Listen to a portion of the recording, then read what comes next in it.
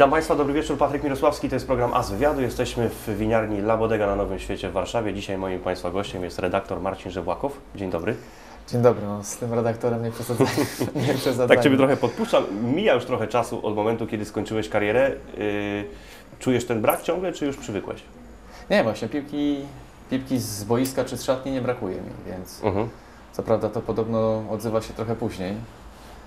Więc na razie sobie radzę na to, że, że są pewne zajęcia, które pozwalają mi dalej e, e, obcować z piłką nożną.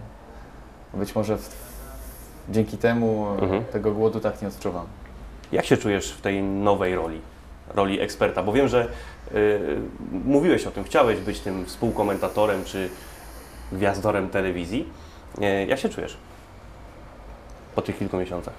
Znaczy ja się absolutnie nie czuję żadnym e, gwiazdorem czy, czy redaktorem, tak jak nazwałeś na początku. No, ja się tego wszystkiego uczę. Natomiast wydaje mi się, że, że każdy piłkarz ma odrobinę swojej wiedzy, odrobinę swoich przemyśleń czy spostrzeżeń, które przekazując widzowi czy, czy kibicowi może w ten, w ten sposób tak samo zmniejszyć e, dystans między tym, co dzieje się na boisku i nie, nie do końca jest odczytywalne dla, dla kibica, Mhm. a, a tym, co sam wewnętrznie przeżywa.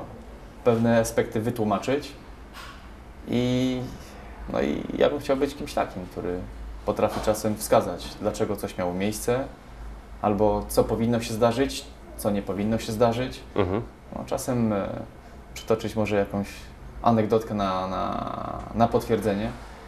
Co prawda no, na to wszystko trzeba i czasu, i trochę doświadczenia, i, i trochę telewizyjnej ogłady, więc liczę, że wszystko przede mną. Gdzie jest granica krytyki u Ciebie jako eksperta telewizji polskiej? No, czasem też się zastanawiam, czy, czy ja jestem tą osobą, która potrafi, potrafi drastycznie skrytykować. I wydaje mi się, że mm, ci, którzy wspomagają, e, współkomentują i którzy byli e, piłkarzami, nie mają w sobie tej, takiego przekąsu, bo generalnie sami byli narażeni na pewne, na pewne rzeczy, same, sami prze, przeżywali te lepsze bądź gorsze momenty i identyfikują się z człowiekiem, którego opisują albo o którym opowiadają. Natomiast ja bym chciał być e, pomiędzy, pomiędzy krytykiem a, a samym piłkarzem, który wskaże widzowi, dlaczego to mogło nastąpić, ewentualnie czym dany, kierownik, y, dany delikwent się kierował popełniając błąd albo robiąc coś, coś dobrego. Wtedy wydaje mi się, że e, Mhm. telewidzowi też y, łatwiej zrozumieć, że no, czasem może zdarzyć się sytuacja, w którym ktoś skiksuje, a jemu wydaje się, że to nie ma prawa mieć, mieć miejsca. No. Czyli Zawsze- Tobie jest bliżej do Mielcarskiego czy do Kowa- y, Kowalczyka? Wydaje mi się, że do Mielcarskiego. Jednak. Tak.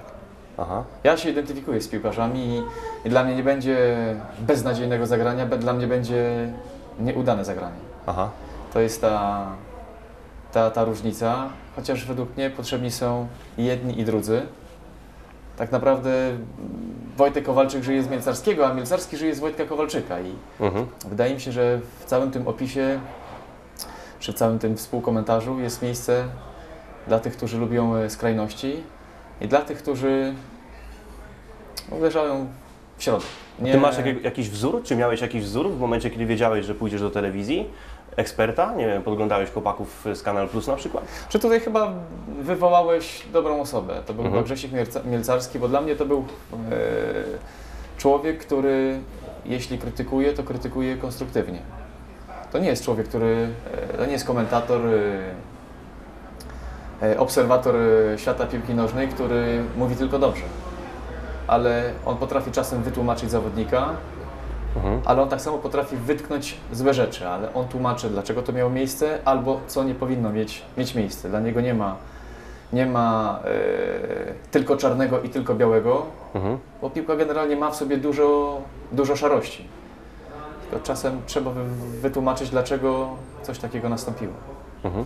Powiedziałeś jakieś takie fajne słowa chyba w wywiadzie dla Weszło, jeżeli dobrze pamiętam, że e, Tobie na przykład nie wypada skrytykować drąbę. No mam taką zasadę, że Właśnie jak to jest? jeśli nie doszedłem do pewnego, do pewnego poziomu, no to według mnie nie mam prawa tego, tego kogoś, e, kto na tym poziomie jest, krytykować. No, na jakiej Mhm. podstawie? No nie ma wspólnego mianownika. Mhm. Ja uważam, że, że, że, że w Polsce jest tak naprawdę byłych piłkarzy niewielu, którzy mogą krytykować, to jest Boniek, to jest być może Tomaszewski, bo to są ludzie, którzy za sobą coś mają. On Mhm. może to, e, może się z tym nie zgodzić, bo to kiedyś przeżył, ewentualnie przeżył dużo więcej i ma, ma, ma ku temu pewne narzędzia. On to Mhm. robił, on to czuł, on to widział. A jak ktoś Tobie zarzuci, jakim prawem, yy, nie wiem, krytykujesz, może nie, może nie Drogbę, ale nie wiem, w jakimś meczu Ligi Mistrzów yy, napastnika, nie wiem, czy Manchester United, czy, czy Realu Madryt, czy Paris Saint-Germain, to jak Ty to odbierzesz? No ja nie krytykuję. Generalnie Aha. powiem, powinien się w tej sytuacji inaczej zachować. To nie jest krytyka, Mhm. to jest stwierdzenie faktu i to jest uchwycenie pewnej być może nieprawidłowości. Natomiast ja, Mhm. ja nie powiem, że to jest beznadziejny wy- występ tego zawodnika. Mhm. Dlatego no ja generalnie ważę słowa i może przez to czasami nie jestem tak wyrazisty, jak, jak ktoś by chciał, ewentualnie jak, y, jak, y, jak inni. Mhm. Natomiast no, to jest pewnego rodzaju taka etyka. Ja powiedziałem, że ja się identyfikuję z piłkarzami i, i z tym, co, co, co obserwujemy, bo ja sam kiedyś przez to przechodziłem. Poza tym ja tak samo jestem tym, który czasem skiksował, nie wykorzystał sytuacji stuprocentowej, Mhm. więc takie przyjmowanie pozycji tego, który kompletnie tego nie rozumie, no jest nie- nieuzasadnione. Jak często się nie zgadzasz yy, ze swoimi współrozmówcami w studiu? I czy jest miejsce i czas... Co to znaczy, jak, jak często? I czy jest miejsce i czas w telewizji polskiej na to, żeby na przykład siedząc z Jerzym Engelem o coś się spierać? Czy wy nie jesteście za grzeczni, mówiąc krótko? No to to już należy do oceny Ale ty tam Tych, siedzisz w środku, o- nie masz czasami obserwują. takiej, takiej ochoty powiedzieć, no co ty gadasz, przecież zupełnie nie masz racji. Czy tak to nie powiem. Z, z Mhm. samego szacunku do, do osoby, która kiedyś była, czy moim trenerem, która. Mhm. Ale która mówię, cokolwiek- nawet nie mówię ad personam o Engelu, tylko o jakimś może innym gościu, który siedzi gdzieś koło ciebie, piłkarzu. No tak drastycznie wydaje mi się, że to nawet nie wypada reagować. Natomiast Mhm. no, ja jestem w stanie powiedzieć, że według mnie jest tak, tak, tak i tak. Mhm. przedstawić swoją, swoją tezę i wydaje mi się, że to też pokazuje e, różnicę w moim poglądzie i, i poglądzie mojego, mojego przedmówcy. Okej, wolisz siedzieć w studiu, czy wolisz siedzieć yy, w kabinie komentatorskiej? Jak to jest? Generalnie ja komen- współkomentarza jeszcze się uczę. Ja widzę, że Mhm. cała ta inżynieria to jest y, potężny proces, który trzeba poznać, który trzeba przetrawić przez jakiś okres czasu i szczerze powiem, ja się lepiej czuję w studio. Mhm. Na dzień dzisiejszy lepiej się czuję jeszcze w studio. Generalnie przebrnąłem przez pewne, przez pewne e, granice. Czuję różnicę między, między sobą w studio jakiś czas temu, a, a teraz. Mhm. Chociażby taka jedna rzecz, że kiedy brakuje mi słowa, to nie ma paniki. Szuka się byle jakiego słowa tylko, żeby zakleić, e, załatać e, zdanie. Mhm. Pozwolę sobie czasem na takie spokojniejsze zastanowienie i, i, i to jest ten, to, to chociażby małe doświadczenie, które, którego się nabywa albo które, które zdobyłem. Mhm. Współkomentarz, zwłaszcza taki, w którym trzeba, e, trzeba oddać e, klimat i troszeczkę pociągnąć ze sobą, za sobą telewidzów, no to jest coś, co, czego chcę się nauczyć i czego się cały czas uczę. Mhm. A studio, które trwa minutę w przerwie, bo, bo to jest częste, prawda? Ale to nie jest nawet atak w stronę telewizji polskiej, tylko w ogóle w stronę telewizji. E, nie zdążysz zacząć zdania, już ci każą kończyć. To jest jakaś masakra, prawda? Tylko tak naprawdę, no co ja mogę zrobić? Nie, no No ja wiem. rzeczywiście, to jest coś takiego, być może co chciałoby się usłyszeć dwa, trzy zd- zdania więcej, no ale tak ułożone są reguły gry, więc Mhm. w studio no, możemy się tylko do tego, do tego, do tego dostosować. Poza tym no tutaj muszę troszeczkę e, obronić telewizję, bo generalnie telewizja jest tak samo e, to, to jest e, miejsce czy, czy, czy, czy zjawisko, które obserwują nie tylko ci wytrawni, wytrawni kibice. To obserwuje tak samo e, grono dzieci czy Mhm. grono kobiet, osób, któ- którzy no, nie są bezpośrednio związani i nie znają się tak bardzo na, na futbolu, więc czasem dobrze, żeby, żeby i ci wyciągnęli coś z samego studia. Dlatego Mhm. wydaje mi się, że studio TVP nie może być pewnego rodzaju bazarem. To musi być coś płynnego i w miarę, w miarę łagodnego. Rzeczywiście możemy, możemy być świadkiem e, rozmowy, czy jakiejś e, mini debaty, gdzie Mhm. mamy do czynienia z, z dwoma punktami widzenia, natomiast wydaje mi się, że to powinno być w takiej jakiejś e, konwencji do przyjęcia, Mhm. bardziej e, e, przyjaznej niż, niż szokującej. Okej, a ty na koniec swojej kariery zastanawiałeś się nad tym, co byś robił, gdybyś nie był związany z telewizją? Myślałem. I Dużo co myślałem. wymyśliłeś?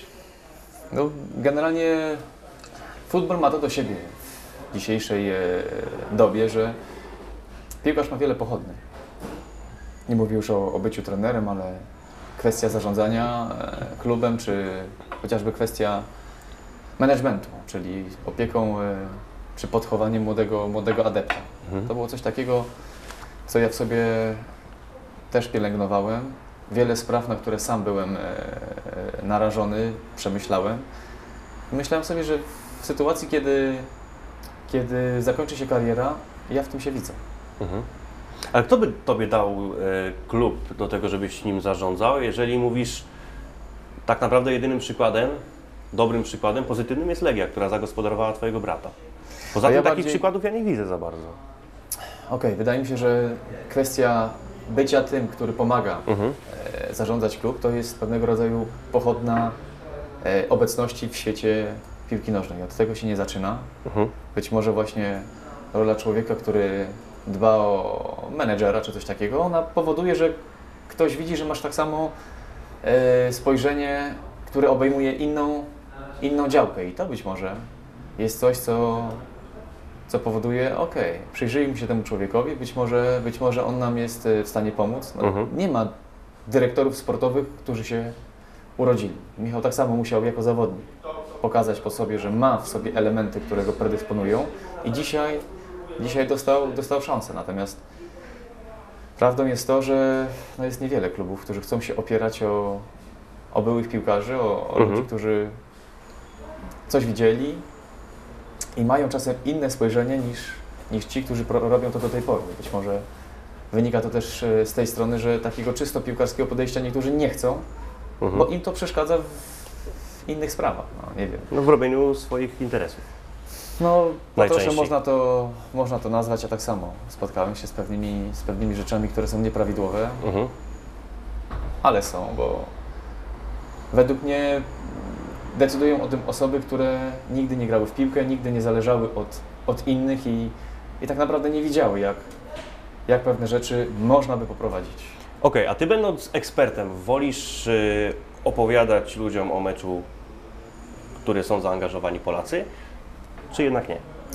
Ja zdecydowanie wolę komentować mecze, gdzie nie ma żadnego e, bezpośredniego stosunku, nie ma Mhm. zaangażowania i nie ma, nie ma e, identyfikacji z, z jedną ze stron. Wydaje mi się, że wtedy to ten dystans do meczu, on pozwala szerzej spojrzeć na, na pewne rzeczy, dużo więcej się, dużo więcej rzeczy się e, widzi. Wyraźnie można wskazać e, Mhm. e, te dobre rzeczy, jak i te złe rzeczy. Sytuacji, kiedy kibicujemy reprezentacji Polski, jest taka marża, gdzie no, człowiek się z tym, z reprezentacją identyfikuje Mhm. i, i czasem idealizuje, czasem, y, czasem trochę przebarwia po to, żeby, żeby wierzyć, żeby troszkę zaklinać y, przyszłość, po to, żeby tak samo widzowie mogli oglądać to w przekonaniu, że coś dobrego może jeszcze się, może się jeszcze wydarzy. Mhm. Też pytam o to dlatego, bo Ty w wielu wywiadach e, prasowych czy w internecie dosyć krytycznie wypowiadasz się na temat, czy wypowiadałeś się na temat polskiej piłki, prawda?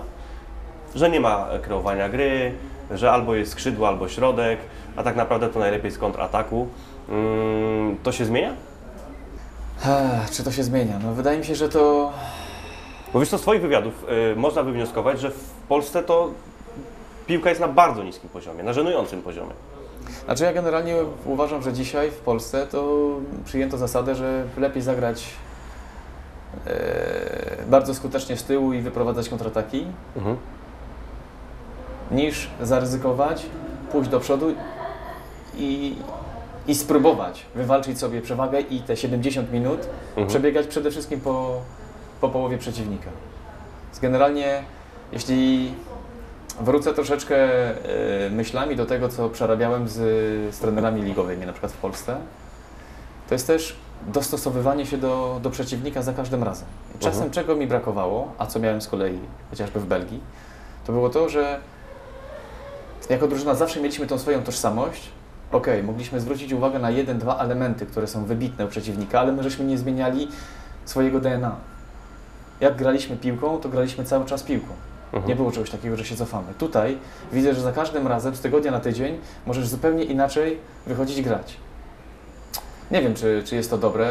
Będzie zawsze dyskusją między zawodnikiem a trenerem. Mhm. E, powoli doświadczam, że to jest też różna, e, różne, różne postrzeganie i inna perspektywa. Stąd być może u mnie takie bardziej, e, nie wiem czy mogę powiedzieć buńczuczne podejście, Mhm. ale takie bardziej odważne. No, trener patrzy na to bardziej e, zachowawczo. Być może kiedyś e, poprowadzę jakąś drużynę, Ale myślisz o tym głowę i posypię popiołem. Natomiast no, mi, się podoba, mi się podoba gra do przodu. Ja lubię zawodników, którzy potrafią odwrócić się przyjęciem, który, który nie zgrywa piłki do boku czy do tyłu po to, żeby jej nie stracić, który coś, coś wnosi i być może stąd y, takie nastawienie do, do piłki nożnej. Mhm. Mówiłeś o Belgii. E, też z tych wywiadów, które, których udzielasz, wynika, że ty najlepszym, największym sentymentem darzysz właśnie tamten czas ze swojej Czy to kariery. był chyba najlepszy dla mnie czas, więc no, opieram, się, opieram Mhm. się o to. Ja wtedy pod względem e, piłkarskim, e, statystycznym i, i, i takich wewnętrznych odczuć, to wtedy chyba czułem się najbogatszy. Ja się wtedy naprawdę czułem mocny psychicznie. Były takie, były takie momenty, gdzie graliśmy sparring chociażby z Borussią Dortmund, oni przyjeżdżali i nie było czegoś takiego, żeśmy się tego obawiali. Nie, wychodziliśmy do nich i chcieliśmy się przeciwstawić. Mhm. Więc no, każdy piłkarz chyba opiera się przede wszystkim o ten, y, o ten okres, o te elementy, które wyszły mu najlepiej Mhm. i traktuje tamte odczucia czy tamte, tamtą motywację jako tą, którą powinni tak samo kierować się inni. To jest bardzo subiektywne, ale wydaje mi się, że, wydaje mi się, że każdy trener też ma swój pomysł na, na grę, więc w pewnym stopniu Mhm. jest, to, jest to subiektywne. No, Okej, ale zawsze- byłeś piłkarzem Beverem, byłeś piłkarzem Excelsioru y, Mukrą, grałeś w Gandawie. Y, ja znam ligę belgijską dosyć dobrze. To nie są wielkie kluby, to nie są nawet bardzo dobre kluby dzisiaj na arenie y, międzynarodowej. Y, tak naprawdę w ogóle na tej arenie nie grają, akurat te, które wy, wymieniłem.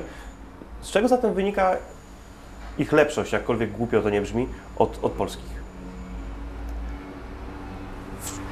Zapytam dalej, czy jest istotna różnica w treningu na przykład? Jak generalnie, kiedy patrzę czasem na, na niektóre mecze Polskiej Ligi, Mhm. to muszę stwierdzić, że w tych meczach mało się dzieje. W lidze belgijskiej, Mhm. biorąc y, co po niektóre mecze, padają przynajmniej bramki. Czyli jest jakiś efekt. No, można powiedzieć, że bramka jest efektem pewnych, pewnych działań. Więc Czasami to- błędów. Okej, no ale ten błąd też trzeba umieć wykorzystać To albo prawda. go sprowokować. Więc zależy od którego momentu podchodzimy do Mhm. błędu. Czy to jest początek, czy to jest konsekwencja czegoś. No tutaj kolejna inżynieria. Ale ja lubię kreatywność. I tak naprawdę nie ma teraz różnicy między ligą rosyjską, polską, belgijską czy, czy angielską. Bo jeśli jest kreatywność, to to jest zjawisko pozytywne. I ja tego doszukuję się w, w meczu piłki nożnej. Czy jest to Liga Polska, czy jest to Liga Belgijska, czy jest to Mhm. Liga chociażby angielska. No okej, no to wróćmy do mojego pytania. Jaka jest różnica w treningu? Nie wiem, mówisz, moim ulubionym trenerem, czy najlepszym e, z tamtego czasu był George Lekens, tak? No to jest trener, który mnie od strony trenerskiej Późniejszy selekcjoner reprezentacji Belgii. najwięcej na, nauczył, ewentualnie od kogo najwięcej e, wyniosłem. Aha. Dla mnie najlepszym trenerem był Hugo Bros. Aha. To był trener, który opierał trening przede wszystkim o grę. Mhm. Więc główną treścią treningu była gra. Różne jego typy na utrzymanie, na cztery bramki, na dwie bramki, 11 na 11, 5 na 5, ale generalnie gra, dlatego że w tych grach jest każdy element podkreślony. Natomiast tre- trening strzelecki, odrobina taktyki było czymś, co, co miało nas wzbogacać. Ale my mieliśmy się poznawać. Ty miałeś pozna- poznać partnera, jak on lubi przyjąć piłkę, kiedy przyjmuje piłkę, jak lubi ją dostać, czy jak ją zagrywa. Ja Mhm. uważam, że gra na treningu to jest ten element, gdzie pod każdym względem wzbogacamy się. Poznajemy partnera. Mhm. A w Polsce się chyba dużo gada na treningach zamiast grać, prawda? Trening y, w Polsce jest dużo bardziej statyczny. No ja mówię o tych klubach, w których, w których byłem. No nie mogę powiedzieć, co jest w Lechu, co jest w Legii, co jest w Wiśle. Mhm. Natomiast w tych y, klubach, w których byłem, trenowało się dużo bardziej statycznie. Gierki też mieliśmy na przykład dwa razy w tygodniu. Ewentualnie było coś, coś takiego, że trwały cztery razy po dwie minuty. Mhm. No ja czasem wracałem po treningu i zastanawiam się, co ja mogę z tych gier wynieść i na jakiej podstawie ja mam dobrze zagrać, skoro ja zagrałem w przeciągu tygodnia 15 minut klasycznego Mhm. meczu, czyli takiej rywalizacji, gdzie możesz ocenić, jesteś w formie, ten krok jest pewny, ten zwód jest, y, jest y, taki, jak powinien być, czy chociażby jako napastnik zrobiłem coś, co jak zrobię w meczu, to wiem, że mi, że mi doda troszeczkę animuszu. No. Mhm. Ja tak postrzegałem trening. Trening to było coś, co, co miało mi pomóc i zbliżyć mnie albo do pierwszego składu, albo zrobić mnie lepszym piłkarzem. Mhm. I czasem tych elementów mi brakowało. Okej, a czego zabrakło w Twojej karierze w Belgii? Transferu po Mistrzostwach Świata. Aha. Ja uważam, że to był też taki moment, który gdyby zaowocował transferem do lepszego klubu, to moja Mhm. kariera też by się inaczej potoczyła. Jak byłeś blisko Anderlechtu? Nie byłem blisko Anderlechtu. Najbliżej byłem Brisz, dwukrotnie. Mhm. Ale raz no, logistyka transferu między klubami nie pozwoliła, natomiast za drugim razem no moja ocena osoby, która, która poprowadzi dalszą moją karierę była chyba pochopna. Mhm. I jednemu wytrąciłem e, oręż, Michelowi Tilly, tak? no, to jest, no nie, wytrąciłem, e, wytrąciłem oręż Włodzimierzowi Lubańskiemu. Aha, a chciałeś przejść do Natomiast Michela, prze- tak? przekaz- przeszedłem do Michela Mhm. i tak naprawdę nic na tym nie zyskałem. Mhm. Była, była propozycja z Brisz i wiem, że gdyby w tym momencie Włodzimierz Lubański miał do mnie pełne prawo i, i wolne ręce, to on by ten transfer zrobił.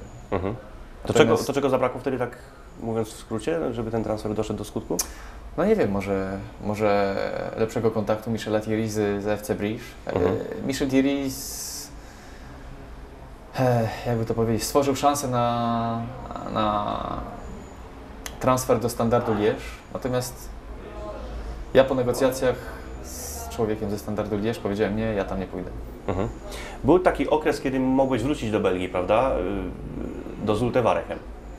Kilka lat temu. Chciałbym, chciałbym o tym z Tobą porozmawiać, bo ja znam kulisy tej sprawy. Y, Dosyć żenujące, A prawda? skąd znasz, powiedz mi? To ja powiem, czy, czy, czy masz prawo znać, czy nie. No, może Ci powiem, nie powiem Ci skąd, może Ci powiem jakie znam. No dobra, okej. no. Pojechałeś już do, do Zulte, wszystko było ustalone, natomiast Ty dostałeś kontrakt zupełnie nieodpowiadający temu, co ustaliłeś wcześniej przez telefon, to prawda? No nie, no to widzisz, to nie do końca wiesz. To Aha. była dużo bardziej drastyczna historia, tym bardziej, że ona bezpośrednio nastąpiła po moich przykrych doświadczeniach z Polonią Warszawa. Mhm. A jak, jak to się z Polonią e, skończyło, wszyscy wiemy, nie wracamy do tego. Natomiast ja cały czas z Urte Waregem tak jakby trzymałem w półdystansie i mówiłem, że tutaj z Polonią jestem po, po słowie, więc nie mogę tej, tej sprawy e, odpuścić. W sytuacji, kiedy wszystko będzie wiadomo, czy prawo, czy lewo, chociaż tak naprawdę wszystko wskazywało, że ja w tej Polonii będę, wrócę do, do Waregem. No i sprawa powaliła się z Polonią Warszawa. Zulte Waregem wysłało mi kontrakt na, na maila, żebym sobie prze, przeanalizował. Dostałem kontrakt na, na dwa lata. A i był na rok później dostałeś, tak? Jak pojechałeś? Za, no, zadeklarowałem, że Aha. zabieram rzeczy, lecę, podpisujemy kontrakt. Kiedy wylądowałem w, w Belgii, mieliśmy podpisać kontrakt y, w sobotę. Ja w, w piątek wylądowałem, to już wiedziałem, że kontrakt będzie opiewał nie na dwa lata, tylko na rok. A w sobotę rano usłyszałem, że Waregiem się nie chce w ogóle ze mną spotkać, więc Mhm. Jedyne co, to mogłem zabrać swoje, swoje rzeczy, spakować z powrotem do, do, do samolotu i wrócić do kraju. Więc Mhm. no, generalnie poleciałem tam i no i dyrektor sportowy A wiesz, dlaczego tak wysłał się- mi SMS-a, że mu przykro, ale w międzyczasie kupili napastnika i że Abibu. te nasze... Z Charleroi. Charleroi. Tak, bo ja rozmawiałem z ówczesnym trenerem z Ulte po tej sprawie, między innymi, bo nie od niego znam kulisy, ale, ale on właśnie powiedział, że zastanawiali się, czy Żegłaków, czy Abibu i wzięli Abibu, ale pewnie y, czym innym się kierowali, nie? Czy ja w ogóle przeszedłem dwa tygodnie wcześniej badania z Ultewargiem, więc oni mnie zbadali. Tam wszystkie sprawy były jasne, bo oni tak Mhm. samo zastanawiali się, czy, czy podejść do czy, czy, czy wziąć zawodnika doświadczonego, Mhm. czy młodego, który tam po, po boiskach e, belgijskich biega aktualnie i którego można ocenić. Ja byłem zawodnikiem, który miał 34 lata, 34 lata miał, bo to było po, po APOL-u. Więc dla nich to też była pewnego rodzaju e, niewiadoma. Natomiast fakt, że, że grałem w Lidze Mistrzów, no, przemawiał za, za moją osobą, więc ja wszystkie te, wszystkie te rzeczy przeszedłem, oni mieli pełen, pełen obraz i, i pamiętam jeszcze, że dyrektor sportowy Pisał mi SMS-y po, po, po 9 ekranów, gdzie no, strasznie mnie namawiał, żebym przyjechał, żebym przekroczył w barwach e, Waregem granicę 100 bramek w lidze belgijskiej. No, Mhm. no, dziwy na kiju, cuda na kiju. Natomiast no, do tego nie doszło, więc to był taki podwójny cios, który, który musiałem sobie prze, przetrawić. Mhm. Na szczęście przyszła, przyszła możliwość podpisania kontraktu z Bełchatowem i, i gdzieś piłkarsko się odnalazłem. Mhm. Reprezentacja Polski. Mogłeś osiągnąć więcej w tej reprezentacji? Nie, ja generalnie jestem uczciwy wobec siebie i, Mhm. i trzeźwo patrzę. Nie wiem, czy mogłem więcej. Nie wiem, czy mogłem więcej. Generalnie dostałem szansę na to, żeby zaistnieć w reprezentacji. No i jej wykorzystałem tak, jak wykorzystałem. Tak jak powiedziałem, kiedyś gdzieś byłem, coś zrobiłem, ale Mhm. nic więcej, więc Ale czy, jeśli czy mogę... można było więcej? No, miałem szansę, dostałem. Zagrałem w reprezentacji 25 meczów, kilka powołań było jeszcze więcej. No to jest czas, kiedy można się sprzedać, więc wydaje mi się, że no, na tyle mnie było stać, na tyle miałem umiejętności i, i kropka. I Mhm. cała reszta, cała reszta się, się nie liczy. Jak wyglądała ta słynna odprawa przed meczem z, przed meczem z Norwegią Jerzego Engela? W skrócie. No to odprawa, która była oparta na, na filmie. Właściwie Mhm. wprowadzenie, a że trener Engel y, potrafił y, trafić do, do, do serca, do świadomości słowem, to wiedzą, to wiedzą praktycznie wszyscy. No i później poparł to film. Generalnie to pamiętam było takie jednoznamienne, on chce przekuć datę 1 września w coś, w coś co będzie kojarzyło się tak samo y, z czymś miłym, sympatycznym, z sukcesem. Mhm. I to było pierwsze takie zasianie takiego e, u nas takiej, takiej motywacji czy celu. No i później te, te zdjęcia z tego filmu, które, które Mhm. zadziałały na nas. I to był moment, który To był film wojenny, jak rozumiem. tak, w którym to, co przeżywałeś oglądając ten film, chciałbyś zanieść do autokaru Mhm. i z autokaru do, do szatni. I Mhm. najlepiej z szatni na, na boisko. To był taki stan, Mhm. w którym nie chciałeś, żeby nikt do ciebie się odzywał. Byłeś zbudowany i tak e, przygotowany do meczu, żeby w 100% to, co czujesz, przenieść na, na boisko do pierwszego gwizdka. Ja pamiętam, Mhm. że nawet sobie usiadłem na ławce rezerwowych z samego brzegu, żeby nikt do mnie nic nie mówił. Mhm. Tkwić w tym, utrzymać to i później na bazie tego wyjść na boisko. I dało to efekt, prawda? 3-0 wydaje mi się, że dało efekt. To prawda. Ty bardzo szczerze podchodzisz do swojej kariery, prawda? Masz świadomość tego i nie chcesz oszukiwać ludzi, że yy, wybitnym piłkarzem nie byłeś. Zdecydowanie. Mhm. Ja myślę, wydaje, że ja byłem takim uczciwym rzemieślnikiem, których, y, który nie zawodził swojego trenera i który jeśli trener coś mu powierzył, to to, to, to skrzętnie wykonywał. Natomiast ja nigdy nie, nie miałem w sobie e, znamion artysty. Ja nie byłem tym piłkarzem, można było powiedzieć, ok, Jerzy Włakow to będzie dobrze. Ja byłem jednym z jedenastu, ale wydaje mi się takim rzetelnym, pokornym i, i bardzo sumiennym. Mhm. Więc tak to, tak to oceniam, jeśli chodzi o moją karierę reprezentacyjną czy, czy klubową. Wydaje mi się, że ja nie zmarnowałem czasu. To nie jest kariera, o której się będzie mówić, to nie, będzie, to nie jest kariera, którą będzie brało się za, za przykład. Natomiast wydaje mi się, że jestem przykładem chłopaka, który był czymś obdarzony, który to wykorzystał i nie zmarnował czasu. Wykorzystał czas przeznaczony na karierę Mhm. w 100%. Dziękuję za rozmowę. Życzę sukcesu w telewizji. Dziękuję. I tego Rio, tak? Brazylia. Fajnie by było, fajne doświadczenie. Raz, raz przeżyłem taką imprezę, co prawda były to Mistrzostwa Europy, wydaje mi się, że Mistrzostwa Świata to jeszcze, Mhm. jeszcze większy wymiar. No zobaczymy, no co, co czas napisze i pokaże. Był reprezentant Polski, obecnie ekspert telewizji polskiej, redaktor Marcin Żebaku był moim Państwa gościem.